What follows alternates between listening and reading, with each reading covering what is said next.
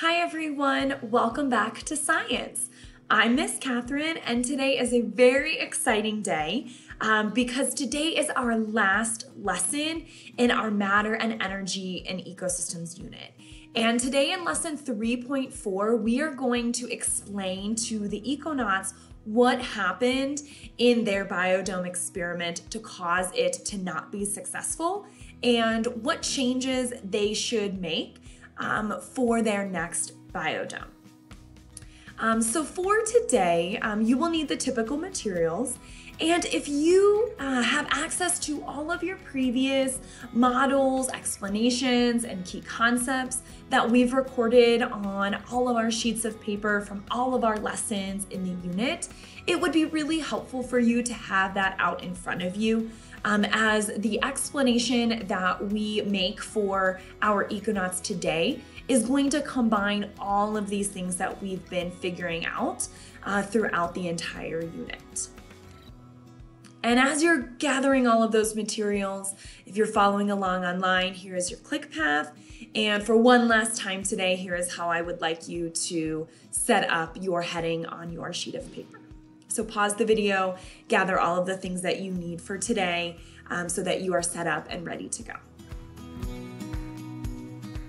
If we are going to explain um, to the econauts today what exactly happened in their biodome, we're going to need to think about um, the cause and effect link between an action or event um, and the outcome or the effect. Okay, so we're going to warm up our thinking around cause and effect relationships here today uh, by considering a scenario that we're hopefully not too familiar with.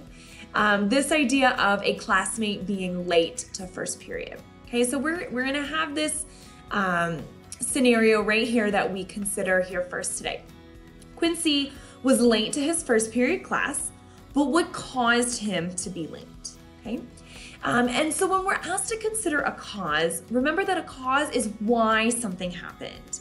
Um, and an effect is what happened. So here we know what happened. We know the effect. Quincy was late to his first period class.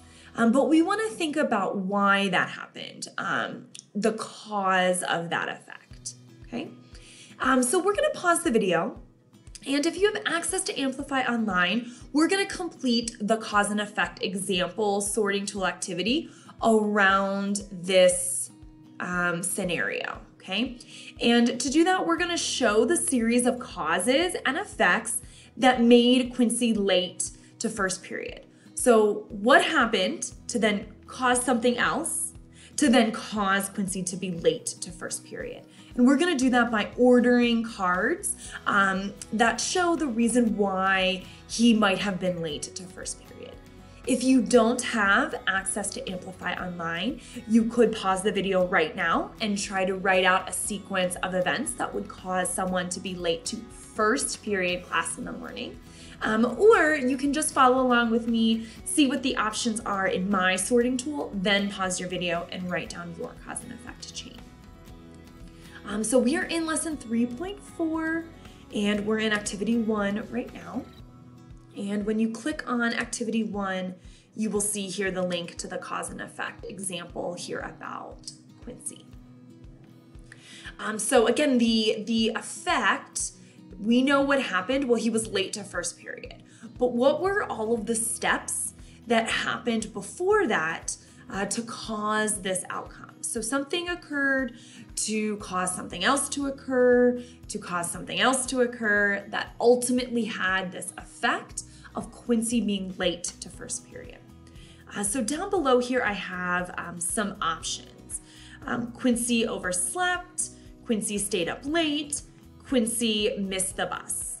Uh, so pause the video and either on your paper or in your sorting tool, put these events in order uh, that would logically explain why Quincy was late to first period. How'd you do?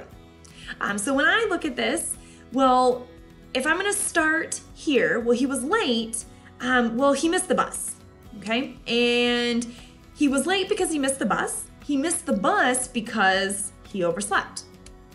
So he was late because he missed the bus, because he overslept, and he overslept because he stayed up late.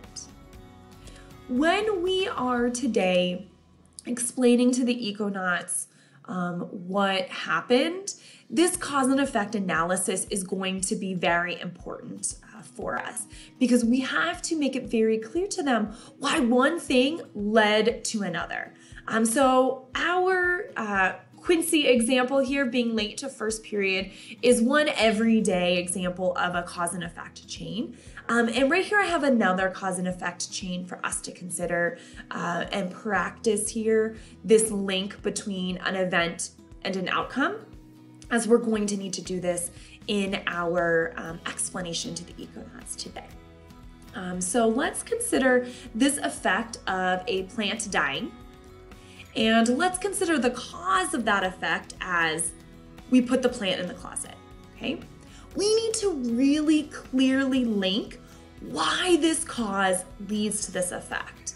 Um, even if you feel like it's very obvious why this cause leads to this effect, um, we wouldn't be very good scientists and we wouldn't be very good at explaining our scientific reasoning to others if we didn't make that link um, very, very clear. So I want you to think for a moment why would putting a plant in a closet cause that plant to die?